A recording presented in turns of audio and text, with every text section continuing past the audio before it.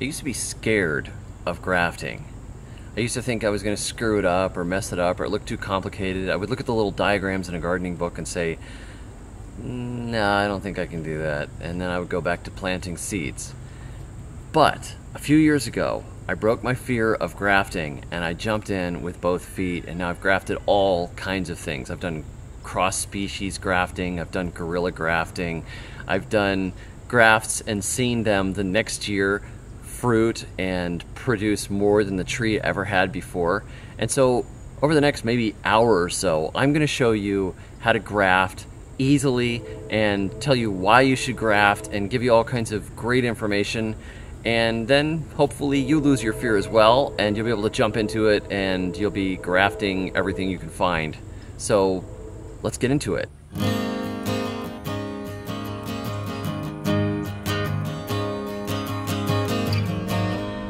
Question is, why would you want to graft?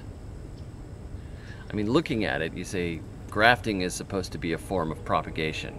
But how does taking a piece off of one tree and sticking it onto another tree really propagate anything? Well, this is the way it works. The bottom part is your seed stock, right? Or your root stock. That's been started from seed or from cuttings or even from cloning possibly. And that has been selected to be strong and tough usually or to be resistant to nematodes as in the case of peaches or to be cold hardy or who knows what. But then you take that and then you graft on a desirable variety on the top. Now with roses you might do it because you wanted this amazing rose but it has sort of a weak root system. With fruit you might do it because you found a really productive tree and you want to propagate that tree and so you take a piece off of that and you put it onto an existing rootstock. This right here is a loquat and this was started from seed and I started in a little pot when it was about this big and planted it back here. Now it's taller than me and it's got an awesome rootstock. If I was to take another loquat and decide I was going to root it and plant it in here, I might have to wait a while for it to fruit. This right here, from seed, is a really healthy little tree. And so if I graft on top of this, all the hard work this tree has done, it might have roots 8 or 10 feet away from the trunk at this point, all that hard work is going to get concentrated into whatever I graft on top, which will give that graft the chance of making great fruit. Now, I don't know what this tree is going to fruit like. It's probably three years away from fruiting at this point because it's already, mm, it's maybe three years in. So if I was to take another loquat that had really good fruit, I found a tree growing in the neighborhood and had great big sweet fruit on it, and graft into it, that piece thinks it's mature. That could be fruiting next year and so we could skip a step and we could also take that and put it directly onto an established rootstock and get it growing really quickly. And this is why I tell people, plant trees from seeds, plant fruit trees from seeds. You can go plant the seeds of oranges, you can plant the seeds of grapefruits, you can plant apple seeds, you can plant pear seeds, you can plant mango seeds, you can plant whatever seeds you want. And people say, well, what happens if it doesn't bear good fruit? Well, it doesn't matter if it doesn't bear good fruit. Really, because all you have to do when it gets big enough it's got a great root system because you started it from a seed and you put it in hopefully when it was pretty small. You can use that existing rootstock of that healthy tree and put something else on top of it. There's no loss. Say you waited six to eight years, you know, or 10 years for an apple tree from a seed to fruit. And then when you get the fruit, you're like, you know, this really isn't that impressive of an apple. Okay, no big deal. You cut into the trunk, you add in some pieces from an apple tree that is good, and there you go. You'll be fruiting in a year or two and bearing whatever apple variety you picked. So there's not a loss. You've allowed it to grow in place and make an awesome root system. So that's one reason to graft. Uh, another reason to graft is to propagate your own varieties. Say you start a whole bunch of peaches from pits. I've shown people how to do this on my website, you know, how to germinate peach pits. Now, some of those peach pits that germinate, you might get harder or rubbery peaches or not particularly sweet peaches or peaches that bloom at the wrong time and freeze or whatever. So what you do is you plant maybe 10 or 12 peach trees. And then out of those, when they start fruiting, they'll actually fruit in two or three years usually from peaches when they start fruiting, you find, oh, this variety is so good. This variety's so-so. This variety's great. Oh, this one's cool because it's kind of reddish. I like that. So you take the ones that you like and you take pieces of them off and you graft them onto the ones that aren't very good. And that way you've got peach trees You know, you can rename it after yourself. It could be, you know, Jimmy's Red Peach, you know, Dave's Incredible Long Blooming Peach, whatever you wanted to do. And you've got a new variety of your own that you started from seed, and you can propagate that variety in just over and over again. You can graft it into any peach tree. You can also intergraft peaches and nectarines. So there's a few reasons why you would want to graft. And uh, let's talk about what you can graft.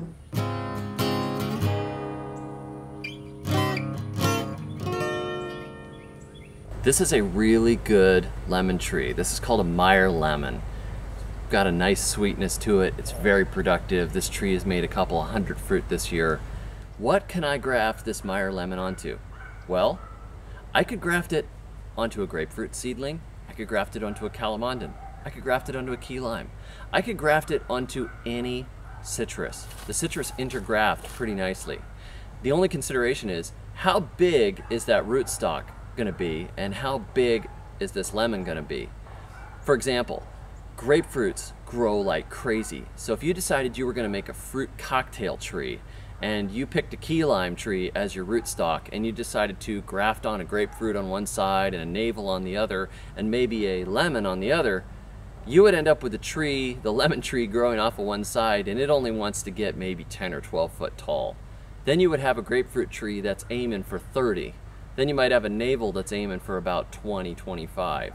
So you don't exactly necessarily want to start with a key lime tree and do that. You got to think a little bit about what you're grafting onto and how big that tree really wants to get. Otherwise, you can still do it, but you're going to be trying to maintain it and you may have a big grapefruit branch growing off the side of this little key lime tree and it just collapse and rip off. But feel free to experiment anyways, because it really doesn't cost you much except perhaps the original tree that you graft onto, which if you started from seed is no big deal. So if you do have a little rootstock, I would start with say a strong rootstock, like something right in the middle, like an orange, and then just graft the smaller things on top of it. And know that if you plant something that's really vigorous, or, or graft in something really vigorous onto one side, that you may have to control that through pruning which is a thing that you're going to deal with most fruit cocktail trees anyways. Now I said you can graft onto any citrus with citrus. They all work together pretty well. That's not the case with everything. You can take something like a wild black cherry and try to graft on a sweet cherry and it won't take. I know because this last spring I tried, even though all the literature said you couldn't do it.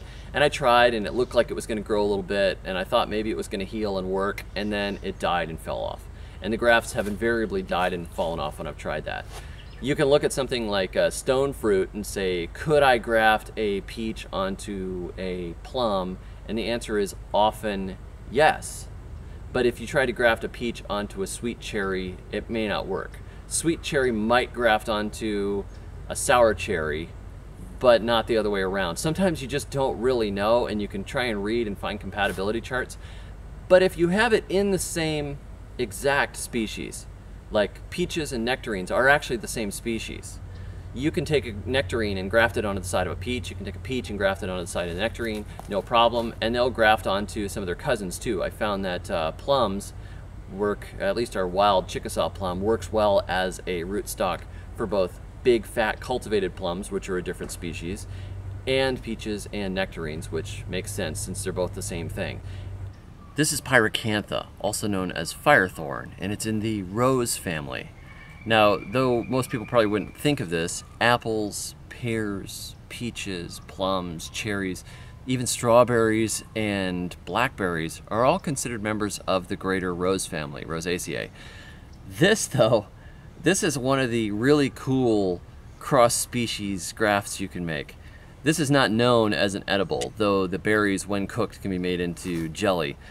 It's known as a very beautiful ornamental and as a really thorny hedge. It's got little thorns all over it. But from my reading, you can also use it as a rootstock for loquat. Doesn't even seem like it would make sense, does it? They, they, they have like nothing in common in the way they look. Now, if you do graft a loquat onto a pyracantha, you end up with a very dwarfed loquat. So you make it a loquat tree that's four to six foot tall instead of stretching up to 25, 30 foot. Um, I planted this pyracantha here along the fence with the idea that it would be a hedge that's an impenetrable barrier on one side, and then on the inside, I would graft on branches of loquats. Now there's another thing you can graft onto this. They're also a rootstock for pear. They're a proven rootstock. You can actually graft pear branches onto a pyracantha. So I can take pieces off of some of my sand pears, graft them onto the inside of this hedge. So you could pretty much have a dense hedge pointing out towards the street, all thorny, with berries all over it on that side, looking all pretty, but then being very dangerous if somebody decided to jump over into it. But on the inside, I could have branches of loquats and pears hanging into the yard that my kids could pick. And maybe clocking in at around four to six foot. So some of the things you can do with grafting and cross species are unexpected. Let me show you the other cross species grafting that I've been doing and how well that's worked. This here, if you've watched my YouTube channel, is one of my successes in cross species grafting. Back here, this is one of our weedy Chickasaw plums, which forms thickets and makes kind of a sweet sour fruit, which is okay. It's good for animals, it's good for making some jam and jelly. Some of them are kind of sweet, some of them are lousy. But I grafted a improved variety of plum, which is a different species of plum. It makes great big purple fruit two years ago. Right there is the graft point. And it's healed together. So here up is Chickasaw plum. This is an improved plum variety. But that's not all I've done to this tree. Over here, this, about to burst into bloom, is nectarine. This nectarine was grafted on down here last spring. So this graft is really only a year old. And as you can see, it's a good, it's grown a good five foot easily. So this whole part right here is all nectarine, grafted onto one of the suckers off of the Chickasaw plum. Now Chickasaw plums grow all over the place in my area. There are wild plums all over the woods. And that means if you had access to a nectarine tree and you had access to a piece of woods, you could simply take pieces in the spring of nectarine, go out into the woods, and graft nectarines to your heart's content. The great thing about Chickasaw plum is the nematodes don't bother it. It grows in terrible soil. I've seen it in nasty sand in like rattlesnake scrub type country and it's growing like a boss. And if you decided to plant a nectarine or a peach out there, like I said before, the root stocks on some fruits are just not as good. Peaches are very susceptible to nematodes. So are nectarines because they're the same species. But this tree is not. This tree grows with no care. It grows in terrible conditions. Now, the reason they don't use Chickasaw plums in commercial grafting is because, as you can see, looking around here, it makes suckers all over the place. It's a really kind of gnarly tree that spreads out all over the ground. So what I've done is kind of made it into a fruit cocktail. There's uh, a couple of peaches grafted on the back, a couple of nectarines over here, and then this beautiful plum right here, which has already borne a dozen fruit, and it's about to burst into bloom again. As you can see, there's buds all over it. It's gonna have an incredible amount of fruit. This tree, like I was saying with the key lime and grafting grapefruit on top, this is a small tree. Peaches and nectarines grow big, fat, and fast. They grow uh, very rapidly, as do the cultivated plums. So this gnarly little tree, when you graft onto it, the top part of the graft will grow faster than the Chickasaw plum. As you can see, it's a little thicker up here. You can really see it on the nectarine, how thick the nectarine piece is compared to the Chickasaw that's beneath it. That's Chickasaw up to there, and then suddenly it's nectarine, and it's grown like crazy. So when you've got this kind of willowy rootstock, it doesn't necessarily support the peaches or plums or whatever you want to graft on top with the same thickness of trunk and strength that uh, they really want. So what I've had to do is just, when, when the plums started forming on this thing, it just fell over. I just had to take a pole and nail it in the ground. And you can just do that. And on the home scale, you know, sticks a couple fence posts next to them or whatever, just prop them up. This is just electrical conduit that I nailed a couple of feet deep into the ground and just give it something to hang on to. Very easy to just plug them in there. But again, this doesn't look like the way a commercial grove is supposed to look. So there you go. This is a cross-species graft you can do. Now we get to the fun part. It's time to talk about how to graft.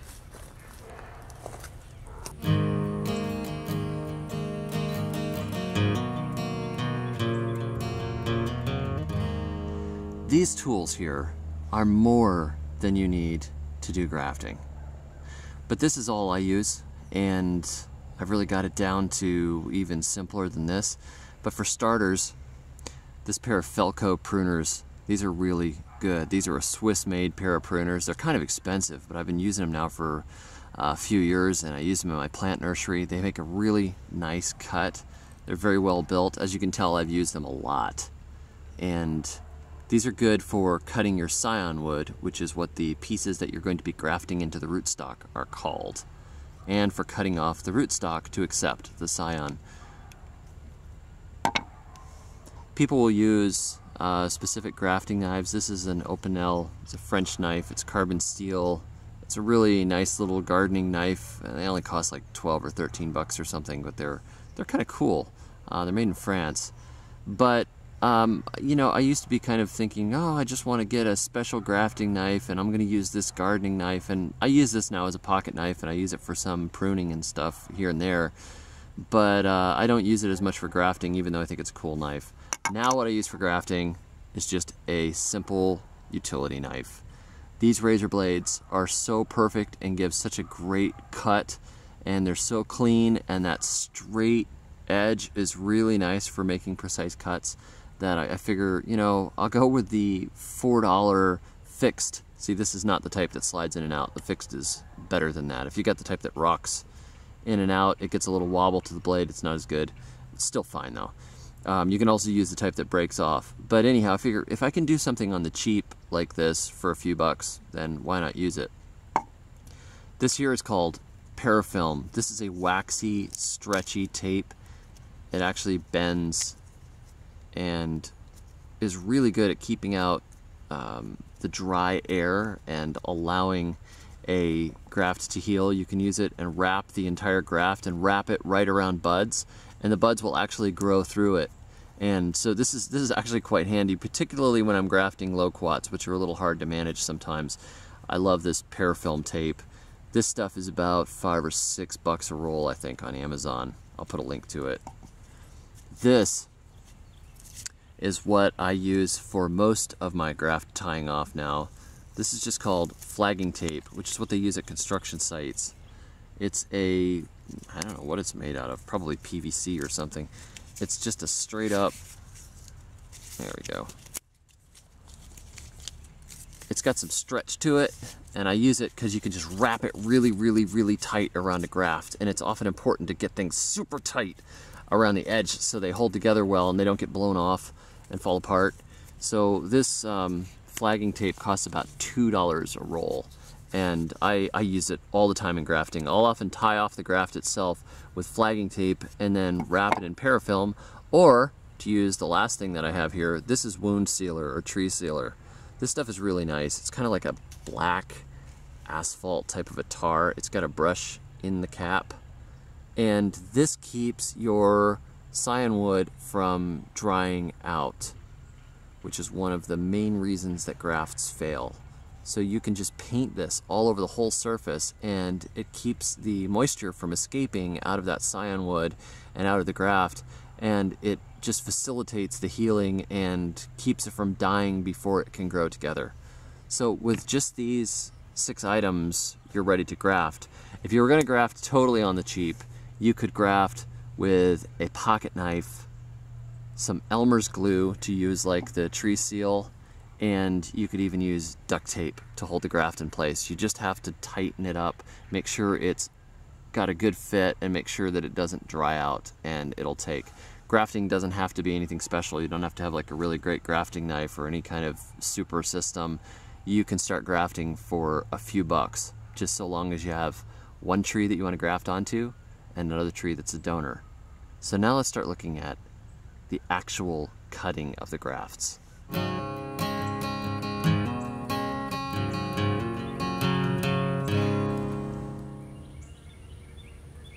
All right, now I'm going to show you how to do a whip and tongue graft.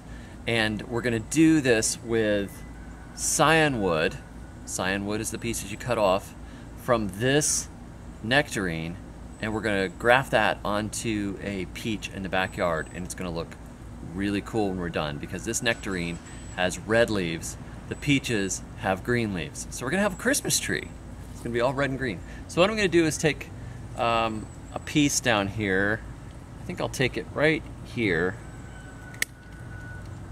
And this gives me enough scion wood to do multiple grafts. All you need is a piece about that big to graft, but you can go even longer. My friend Steven has done pieces that are really long. They'll take so long as they don't dry out. So we can get a few grafts out of this one. Got another one off another nectarine tree. This is going to be my scion wood, as I said before. What I like to do to make sure it stays happy is to stick it in water while I'm going to be out in the field because, again, the dangerous thing is having this dry out. Don't forget which way's up when you do this. That wouldn't be good. Not that I speak from personal experience.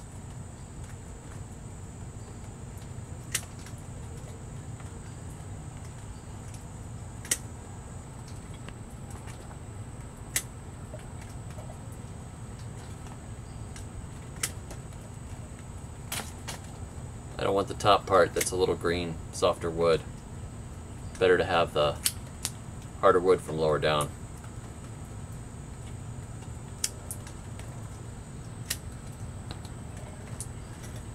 There we go. Now we go over to the peach tree.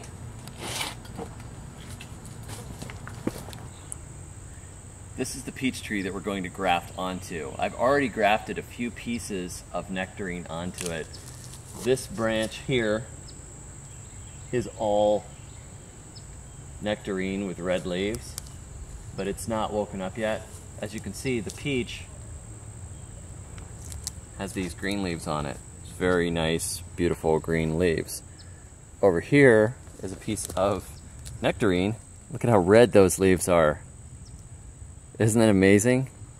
So this here is going to bear nectarines. The rest of it's going to bear peaches. Now, there's no real reason to do this other than that it's cool you know, I want to add a few nectarines to my peach tree, so why not? We put some uh, pieces on there. So I did this uh, last year, and that one last year. This one was not really a strong a graft. That one was a much stronger graft, and it's much, much bigger. So we'll just cut in here and we'll throw a couple more pieces on just for fun, just so I can show you how this whip and tongue thing works. I'm going to take this branch here, just for fun, and I think I'll use this piece of scion wood. So to do that, I'm going to just clean this up first.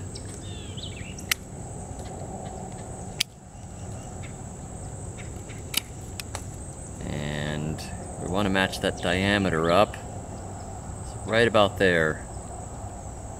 Take this off. Don't want any buds or anything messing us up. So now we have our piece of scion wood and we have our rootstock. So let's tack that sucker on there with a whip and tongue graft. You want to make a cut as simply as possible with as little whittling as possible to be a nice flat surface to receive the scion. That's not too bad angle that out a little more. Yes, I know I'm whittling. You're not supposed to whittle, but that's pretty close.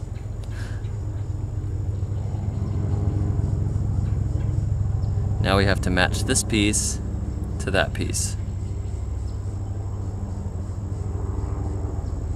Our cut starts right about here.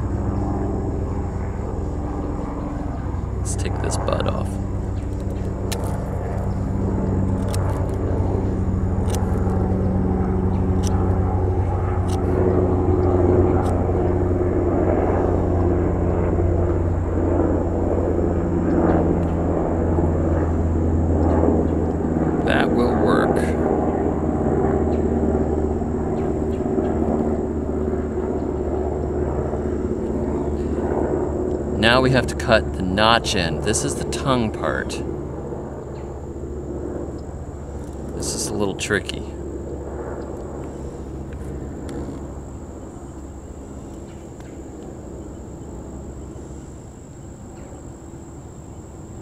But it helps hold it together better. There we go. Now we do the same thing on here.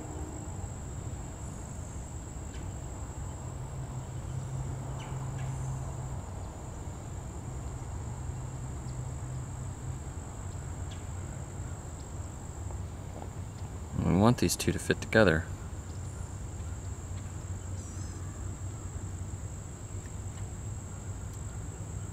I bend it up a little bit with the edge of the knife. Now, the two tongues need to fit together.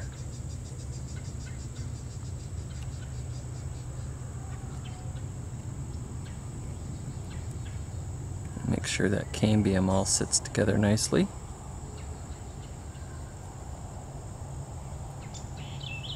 There we go, that will work. Now we're going to wrap this baby with our flagging tape and I want it tight, tight, tight.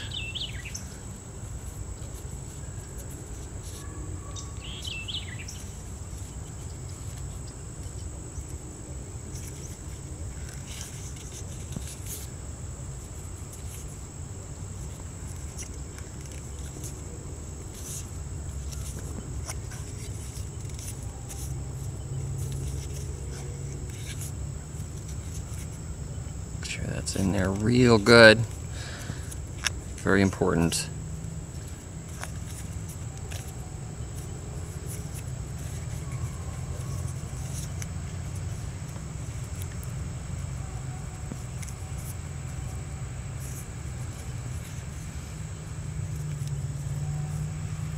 It's probably a prettier way to tie it, but I'm a bit of a redneck.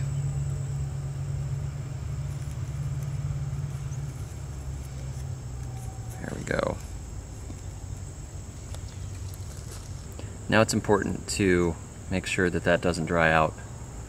So I just goop the wound sealer over it, making sure that I'm getting it on the rootstock and getting it up on the scion wood all the way around so no air is going to get in there. And then it's very important to seal the tip up here. So make sure that that doesn't allow moisture to come out until it heals up nicely. Now we've got multiple buds that can emerge when this heals. When you see those buds start growing, don't go taking your tape or anything off, just let them grow. But they are, if this graft takes, your buds are going to start growing usually in a few weeks as the tree continues to wake up out of its winter dormancy. But that's it. That is a whip and tongue graft sealed off, ready to go, and now we can go on and take a look at another type of graft.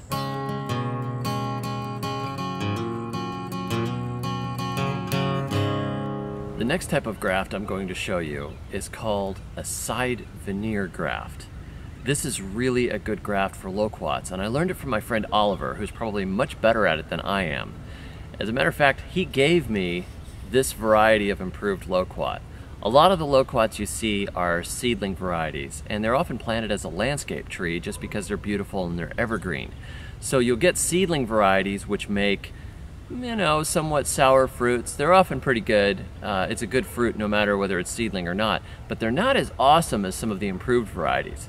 This variety Oliver has named Shambhala, and it is a long, blooming variety. It starts blooming in the fall and just kind of keeps blooming on through the spring, which means if we get a late frost, it keeps blooming and will produce fruit even after the frosts. So it's it's really kind of a cool tree to have, particularly where I am and we get frosts often into March.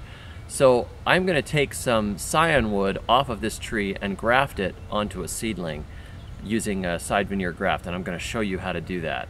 So come up here and take a closer look at what this proper scion wood looks like. All right, right here, if you could see on the end, this is not brand new growth. This is a bud that's getting ready to grow, maybe a little too ready to grow, but it's pretty close. And it's not burst into brand new bright green growth. This is hardened off for the most part. There's some woodiness to this stem. You don't want the brand new growth because it tends to dry out and doesn't heal well and doesn't take. So I'm gonna take this piece down here. And now that's our piece of scion wood. And then nip off the leaves. Each one of these leaves is a place that water can escape, so you don't want to leave all the leaves on. You want to nip them off.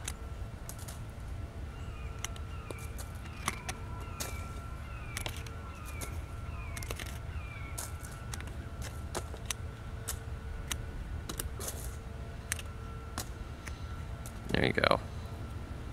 There's our scion wood. We've got plenty to work with. And we can graft this onto a seedling and make it take. I have this little seedling loquat here and I'm matching up the size of this scion to the rootstock. And I'm not going to take the top of this tree off. With the side veneer grafting, you don't do that. And if it fails, you can just do it again. But it allows the tree to keep feeding itself via the solar energy coming in through the leaves and heal up without the damage of taking the entire top of the seedling off. You can see here that this scion is pretty close to the same diameter as here. We want to make sure that that cambium layer underneath matches up appropriately on both sides, hopefully, and we're pretty close.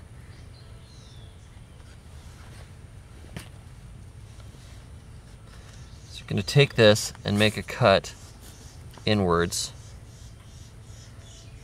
on a diagonal straight down the side of the tree in a little bit to open up a patch that you're going to tie into. There we go. And now I cut inwards to meet that piece and we just take that entire piece out. There we go. Now we're going to do the same thing on this and try to make them match. Fortunately, loquats are really easy. They're not hard to do this with. They heal better than a lot of trees do. So we want those two pieces to fit together. You see that? Now it's important at this point to make sure that that stays lined up.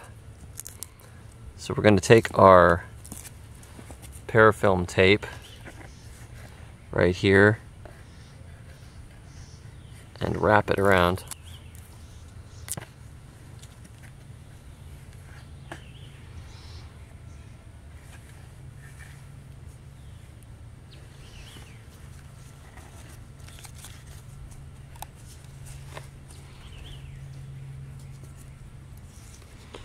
And you want to get it tight.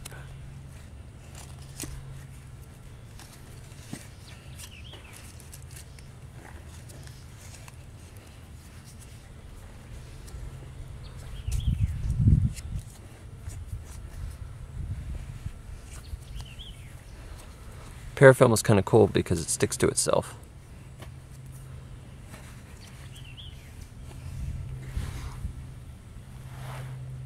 Now that we have the bottom part, you want to wrap it up as well to keep it from drying out. This parafilm tape is stretchy enough and it will break when the buds grow through it, which is kind of cool. So you just wrap it to keep the moisture in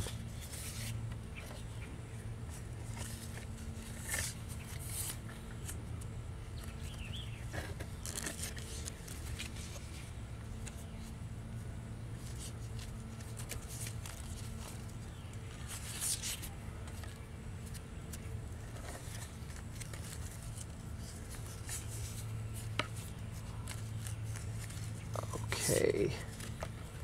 I'll leave the top there.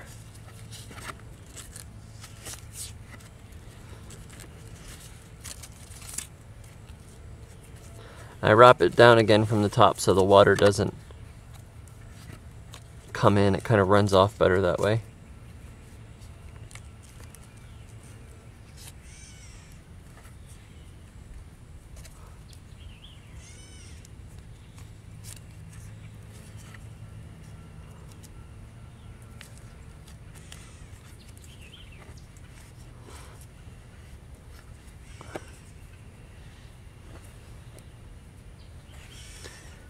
There we go. And that should heal in a couple of weeks, and then this top should start to push out of there. But keep the plant well watered and cared for. If you have a greenhouse, you can put it in the greenhouse. You can even put a tent of a plastic bag over it with some sticks holding it up to keep it from touching on these leaves if you want to make the moisture level higher, which will help the graft heal.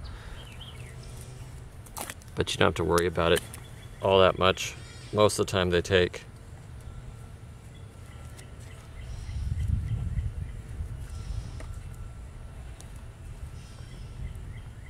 There we go, that's the side veneer graft. Here's one more thing on the side veneer graft. If you don't feel like you made a very good cut and you think that it's not sticking together in there all that well, you can always cheat it by taking a little bit of your flagging tape and really pulling it tight so you've got really, really tight connection. Because again, you really just got to get that cambium sticking together. And this is totally rednecking it, and it's ugly and all that stuff, but it doesn't really matter. We're not doing commercial fruit tree grafting here, and nobody's going to judge you or grade you. So if you feel like maybe it's not tight enough, you can always wrap around again, give it a few more loops, and there you go. Okay, that's as tight as I'm gonna get it. Ta-da! So, you know, that, that'll just push those two sides together and make them stick. That's the idea. I think it would have been fine already, but it's fun to just show you how to do that.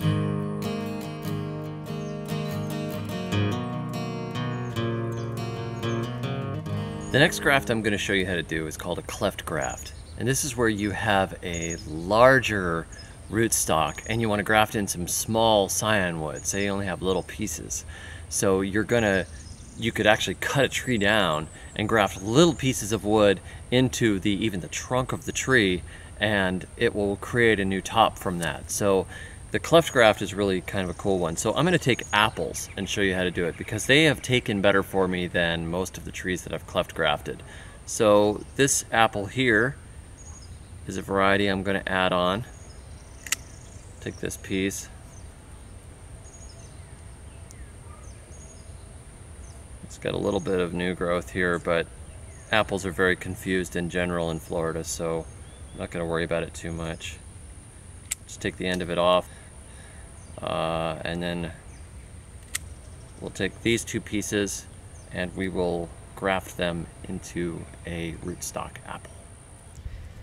This is an Anna apple tree, which is a Florida variety, but I have some pink fleshed apples, and that's what I just took scion wood off of. They were given to me by my friend Steven, who's been breeding apples. What I do first is just clean this area up a little bit.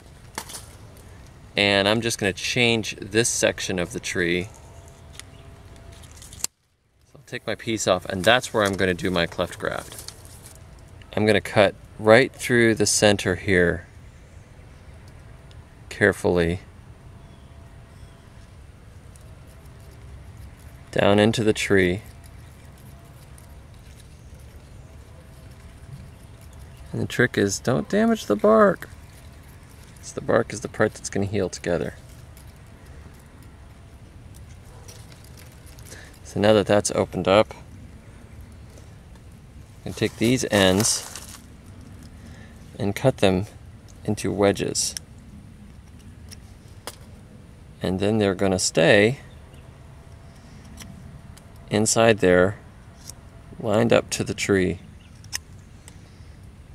as best as we can make it happen. So see that? A little edge there.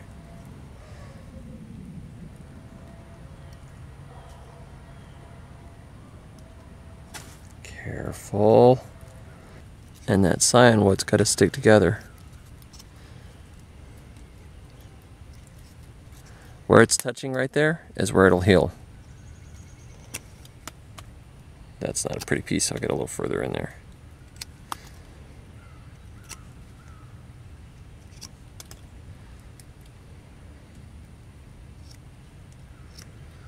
A little cleaner.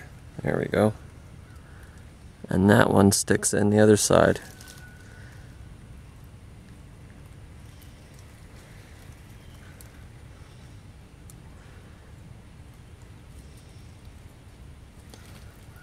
I know that looks bizarre, but it will actually heal that way, believe it or not, and work, provided these don't get jarred out of here and that they don't dry out. Let's pull it tightly around here.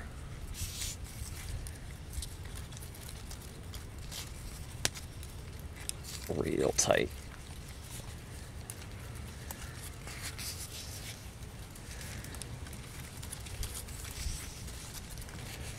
Want those suckers to stick.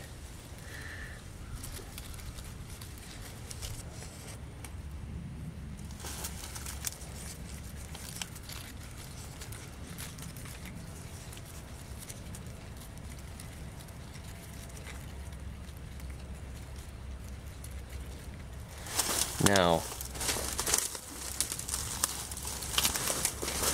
take my handy dandy tar gunk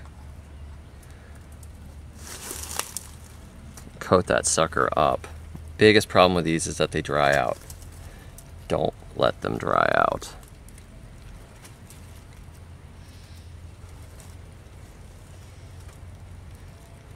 Just pack it all in there.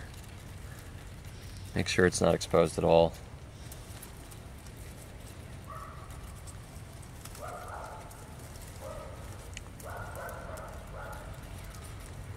Also, I do the ends of the scions because we don't want them to dry out.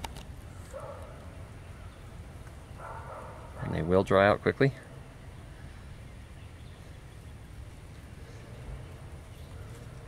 I'm going to paint these up a little bit too, just to make sure, because it's dry this time of year. I'll leave a couple of buds unpainted, but it's good to get this as covered as possible. There you go. It may not be beautiful, but that is a small cleft graft. Now I'm going to show you what a healed cleft graft looks like so you can kind of get an idea of what this tree is going to do. I'll show you one that we did last year. This here is a healed cleft graft. You can see how it's bumped out and joined. The bark grows together and it grows the wood, well the, the cambium layer grows the bark on the outside and the wood on the inside and it makes a knot around it and heals it up. And then next thing you know, it's grown into a whole new top for the tree. I did this last spring, or actually late winter, and it's just completely taken and looks good.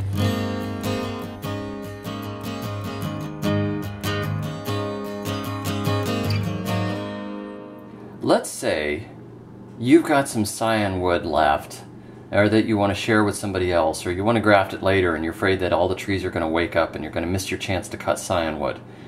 Take those scions and simply put them in a Ziploc bag and you can keep them in your refrigerator. You don't have to soak them in water, you don't have to put in wet paper towels, you don't have to get them sopping wet or anything else, you just have to put them away. Then when you do graft them, cut these ends off again for a fresh cut and go ahead and graft. But you could ship them through the mail this way. Uh, if you really are worried about them drying out, you could spritz them with water really good, you know, and then shake all the water off, pat them down, and then stick them in. But uh, they'll keep this way for months in your fridge usually. I've had mulberry scionwood keep for six months or more in the fridge, which is ridiculous. Usually you're good for a few weeks.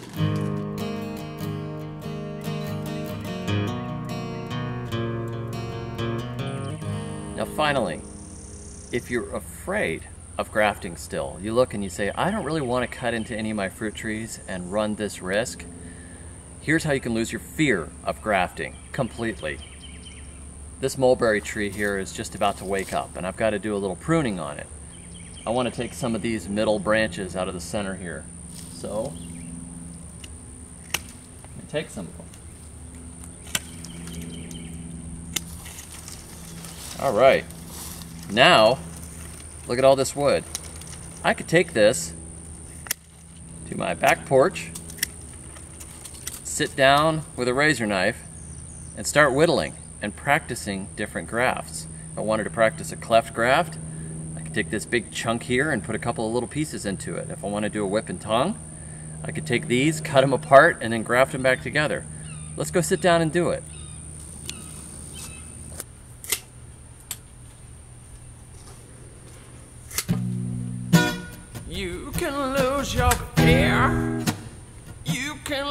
Your fear of grafting, baby. You can lose your fear of grafting, baby, baby. Ow, ow, I cut myself a grafting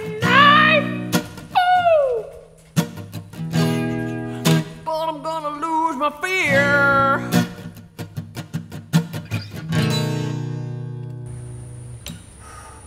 Take a deep breath. Lose your fear of grafting. Go ahead, practice, go out in the yard, try these little simple grafts, and enjoy it. It's a lot of fun. It allows you to do things you never thought you could do before. It allows you to take useless trees and convert them into wonderful trees. And it's just fun. You will have entered the next level when you learn how to graft. And I think by the end of this film, you've pretty much learned how to do it. Now you just need to go outside, lose your fear, and do it. Thanks for joining me. I'll see you in the future and at thesurvivalgardener.com.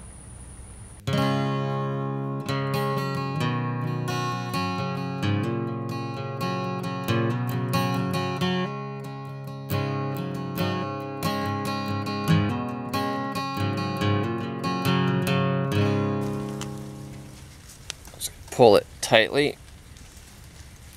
Oops.